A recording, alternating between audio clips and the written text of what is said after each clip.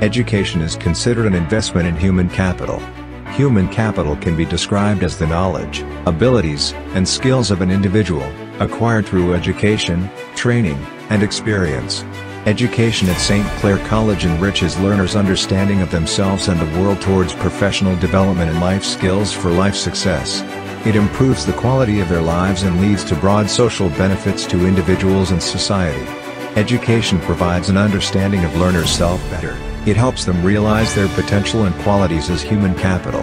It helps them to maximize their potential, so that they may be able to sharpen their skills. It enables them to gain sufficient academic qualifications for them to be able to acquire suitable employment at a later stage.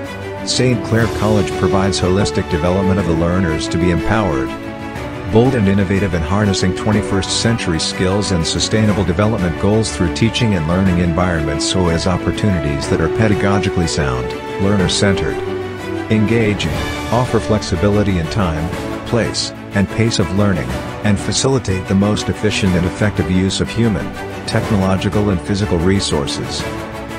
Meet your online teachers,